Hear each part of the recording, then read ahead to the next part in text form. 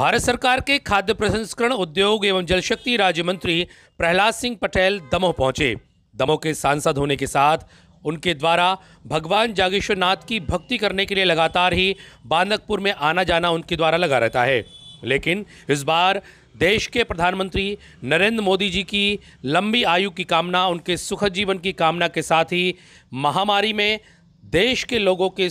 सुखद जीवन की कामना के लिए उनके द्वारा भगवान जागेश्वरनाथ का रुद्राभिषेक किया गया और इस दौरान बांदकपुर पहुंचकर केंद्रीय मंत्री ने सबसे पहले बांदकपुर के जागेश्वर नाथ धाम परिसर में स्थित समस्त मंदिरों का दर्शन किया गया, पूजन अर्चन किया गया, आरती की गई और उसके बाद भगवान जागेश्वर नाथ जो स्वयं जागृत शिव लिंग है, वहाँ पर जाकर के भगवान भोलेनाथ का रुद्राभिषेक किया। केंद्रीय मंत्री ने यहाँ पर अपने साथियों के साथ, राजनीतिक जनप्रतिनिधियों के साथ और शुभ चिंतकों के साथ पहुँच करके भगवान का पूजन अर्चन किया और दमोह ज़िले के साथ, दमोह संसदीय क्षेत्र के साथ पूरे देश के लोगों के सुखद जीवन की भगवान से प्रार्थना की। Bureau report ACN news Damoh.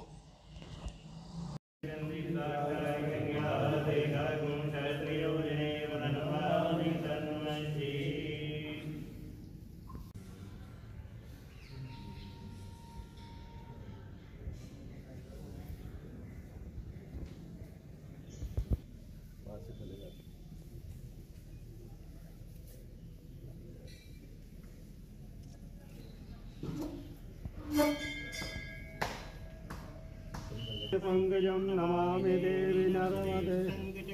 सकेटकुण्डलं सफेदवस्त्रं सरसीरहेक्षं सहारवक्षं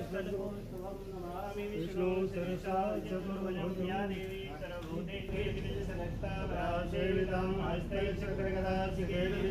शापं गुणं तर्जे प्राणामनिलाभिकां सचिहरां दुर्गां त्रिनेत्रां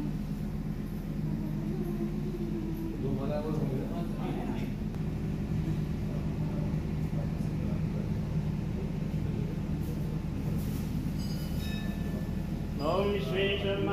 वृन्दिं दण्डपाणिं च भैरवं वंदे काशीं वाहनं